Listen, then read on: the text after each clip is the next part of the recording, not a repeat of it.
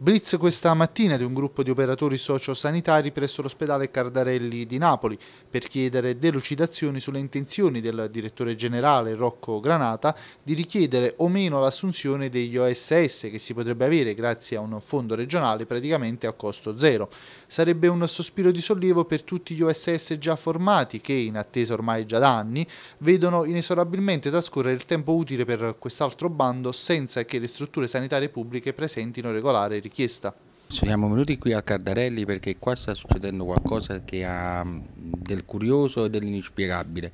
Di fronte a un Cardarelli che sta vedendo proprio scomparire propria, i propri operatori OSS, che sono gli aiuti infermieri di cui c'è un estremo bisogno,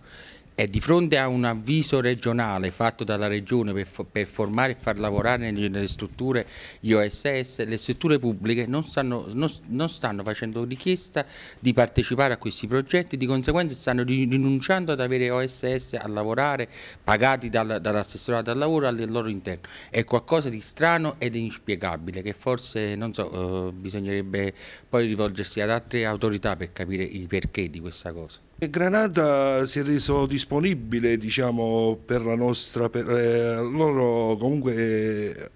volevano aderire all'adesione diciamo, degli operatori sociosanitari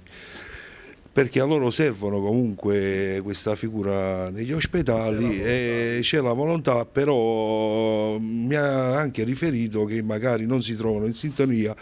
con la regione inerente a questo programma perché la regione Campania comunque loro, uh, anche se comunque hanno dato l'input positivo in questa situazione